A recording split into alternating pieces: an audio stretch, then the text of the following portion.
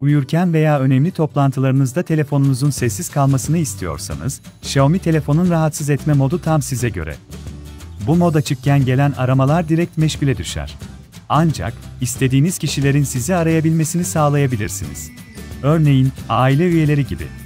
Bu özellik nasıl kullanılır bakalım. Telefon rehberinizdeki kişiyi açın ve üst bölümdeki yıldız ikonuna basarak favori kişilere ekleyin.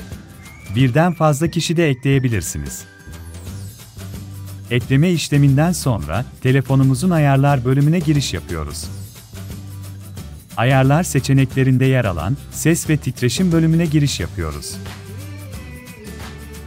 Sayfayı biraz aşağı kaydırın ve rahatsız etme modunu bulun ve bu seçeneği aktif edin.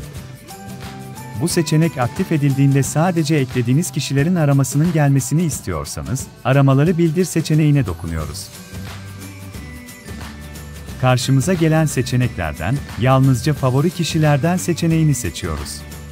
Yalnızca kişilerden seçeneğini seçerseniz, adres defterinde kayıtlı olan herkes arayabilir, kayıtlı olmayan aramalar meşgule düşer. Artık rahatsız etme modundayken sadece favorilerinize eklediğiniz kişiler sizi arayabilir. Diğer tüm aramalar otomatik olarak meşgule atılacaktır.